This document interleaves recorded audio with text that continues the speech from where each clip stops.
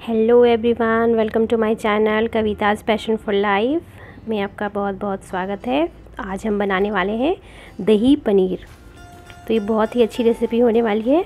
तो आप लोग बड़े ध्यान से इसे देखें।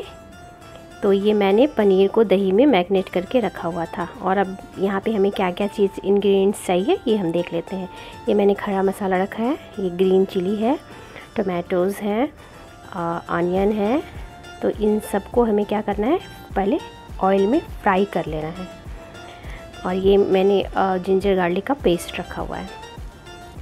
तो इन सबको पहले हम ऑयल में फ्राई करेंगे।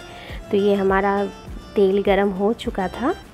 मैंने इसे पहले से ही कढ़ाई चढ़ा के रखा था। तो ये हमारा तेल गरम हो चुका है। इसी टाइम हम इसमें डाल देंगे अपना गरम मसाला, जो हमारा खरा गरम मसाला है, इसमें था जीरा, दालचीनी, फूल लौंग, काली मिर्च, ये सब था। तो ये सब मैंने डाल दिया और अब इसमें मैंने आनियन भी डाल दिया है और इसको हम गोल्डन होने तक अच्छे से इसको हम हाई फ्लेम पे ही फ्राई कर लेंगे। तो ये अच्छे से हमारा गोल्डन हो जाएगा।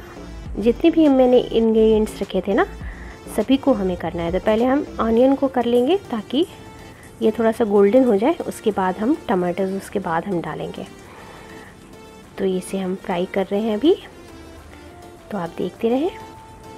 ये हमारा फ्राई हो रहा है। अब मैंने इसमें जिंजर गार्लिक का पेस्ट भी मैंने डाल दिया है ताकि ये भी थोड़ा सा फ्राई हो जाए अनियन के साथ। इसमें अच्छे से ये घुल जाए। और अब मैंने इसमें टमाटर डाल दिया और इसे भी अब हम फ्राई कर लेंगे। यहाँ पे मैंने लाल मिर्च, धनिया पाउडर, हल्दी पाउडर सब कुछ डाल दिया ताकि ये सब कुछ ऑब्ज़र्व कर ले ऑनियन और ये मैं आपको दिखा रही हूँ, जो मैंने मैगनेट करके रखा था, उसको भी मैंने साइड में रख दिया है पनीर को। और इन सबको अब मैं ठंडा होने के बाद इसे पीस लूँगी। एकदम पेस्ट बना लेना है इसे अच्छे से। इसमें प्याज का ज़रा सा भी टुकड़ा ना रहे। और ये देखिए हमारा पेस्ट बन के रेडी हो गया है और इसे मैं उसी कढ़ाई में जो मेरा तेल बचा हुआ था उसी में मैंने इसे अच्छे से अब इसे भून लेना है। और ये इसमें ज़्यादा टाइम हमें नहीं लगने वाला है क्योंकि आ, हमारा जो ऑनियन जो हमारा मसाला था वो पहले से ही फ्राई हो चुका है। तो इसलिए हमें इसमें ज़्यादा टाइम नहीं लगने वाला है। तो ये हमारा जो है मसाला इसको फिर हम थोड़ी देर तक फ्राई कर लेते हैं ताकि ये भी रेड कलर का हो जाता है तो फिर बहुत ही खूबसूरत लगता है देखने में।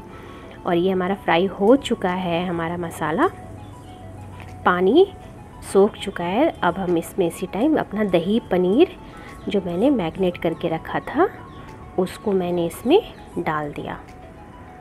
और इसे अब हम थोड़ी देर धीमी आँच पे ही इसे हम, इसमें पानी नहीं डालना है आपने बहुत। ये मतलब थोड़ा ड्राई जैसा ही रहेगा ये। अच्छा लगता है। मतलब थोड़ी सी ग्रेवी ग्रेवी में ही ये बनती है। तो ये ज़्यादा अच्छा लगता है। तो अब इसको मैंने पाँच सात मिनट तक इसे हम धीमी आँच पे ये मैंने नमक डाल दिया। लास्ट में नमक डालें हमेशा ताकि आपको पता चले कि आपके सब्ज़ी की क्वांटिटी क्या है। उस हिसाब से आप नमक डालें। तो आपको अच्छे से पता होगा कि हमें कितना नमक डालना है।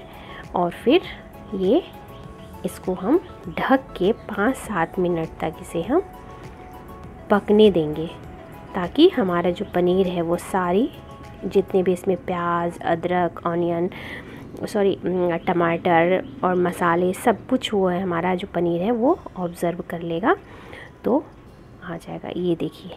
ये मैं आपको फाइनल लुक दिखा रही हूँ, ये बनने के बाद। ये कितना खूबसूरत लग रहा है। तो ऐसे ही आप लोग बनाएँ और अपने घर में और इसे रोटी पराठा चावल के साथ खाएँ, बहुत ही अच्छा लगता है। तो मेरे चैनल को सब्सक्राइब करना ना भूलें और भी रेसिपी मैं आपको दिखाऊँगी। तो इसी तरह खाते रहें और खिलाते रहें। बहुत बहुत धन्यवाद।